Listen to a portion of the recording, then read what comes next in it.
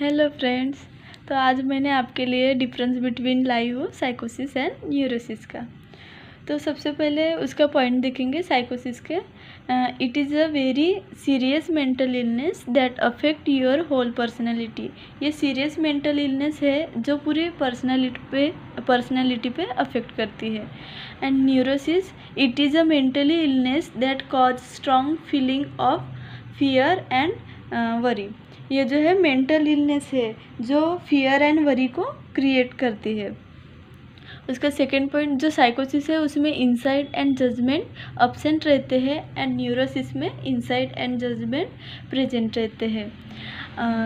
जो साइकोसिस में साइकोसिस में पेशेंट को हॉस्पिटलाइजेशन रिक्वायर्ड रहता है, उनको एडमिट करना पड़ता है एंड न्यूरोसिस में जो है हॉस्पिटलाइजेशन इज़ नॉट रिक्वायर्ड मतलब उनको हॉस्पिटलाइजेशन की ज़रूरत नहीं रहती है। साइकोसिस में जो है पेशेंट को E C T means electroconvulsive therapy is required वो दी जाती है। एंड न्यूरोसिस में ई सी टी जो है वो नॉट रिक्वायर्ड रहते हैं, उनको ज़रूरत नहीं रहती है ई सी टी देने की। साइकोसिस में जो इसमें मेजर डिस्टर्बेंस देखने को मिलते हैं।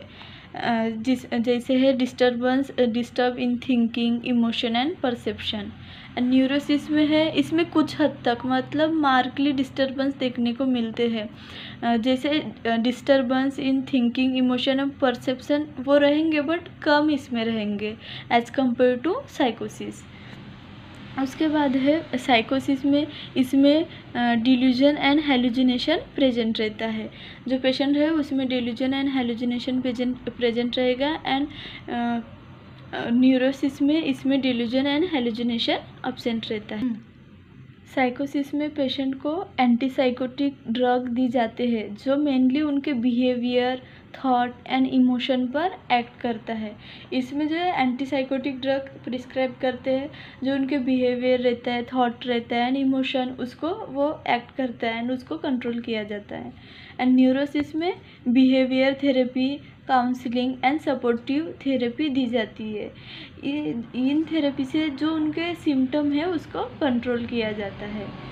उसमें साइकोसिस में जो है, इसमें पेशेंट की पर्सनैलिटी पर अफेक्ट होता है।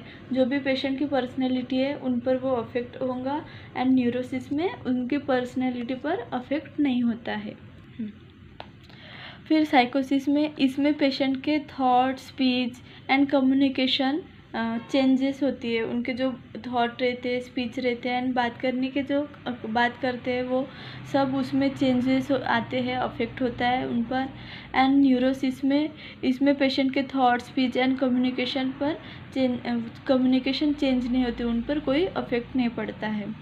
फिर साइकोसिस में इसमें पेशेंट अपने प्रॉब्लम एंड डिसऑर्डर के बारे में अवेयर नहीं रहता है। उनको पता नहीं रहता है कि उनको कौन सी प्रॉब्लम है, कौन सा डिसऑर्डर है क्या हो रहा है उनको, वो कुछ पता नहीं रहता है अवेयर नहीं रहते एंड न्यूरोसिस में, इसमें पेशेंट अपने पर्सनल प्रॉब्लम एंड डिसऑर्डर के बारे में अवेयर रहता है। उनको पता रहता है कि उनको क्या प्रॉब्लम हो रही, उनको कौन से डिसीज़ है, वो सब के बारे में ये अवेयर रहते हैं। साइकोसिस में, इसमें ऑर्गेनिक रीज़न प्रेजेंट रहता है एंड न्यूरोसिस में, इसमें ऑर्गेनिक रीज़न जो है वो अब्सेंट रहता है। फिर है साइकोसिस इसको ट्रीट करना डिफ़िकल्ट है।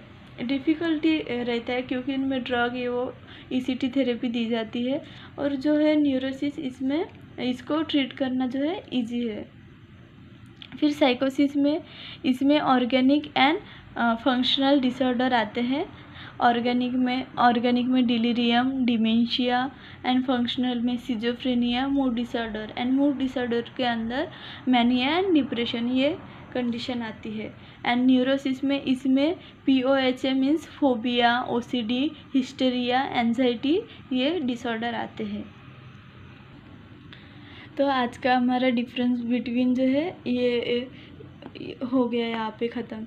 तो आपको ये वीडियो अगर पसंद आए तो प्लीज़ लाइक कमेंट शेयर ज़रूर करें। And thank you for suggestion and thank you watching for my video